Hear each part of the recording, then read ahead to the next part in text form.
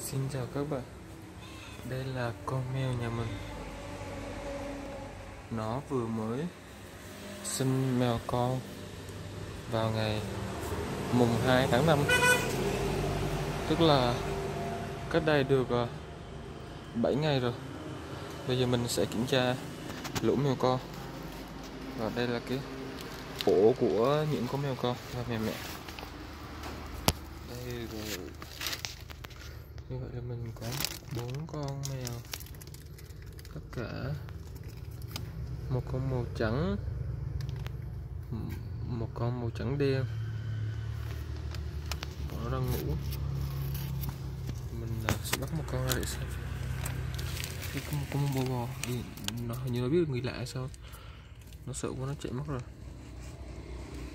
Trong này có mùi mùi mèo giờ xanh nấp mất hồng gì nó mất tiêu rồi mặt này Nhìn mất tiêu quá.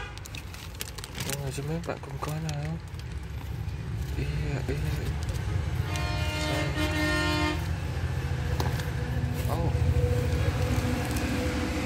Ê, có nó có Có nó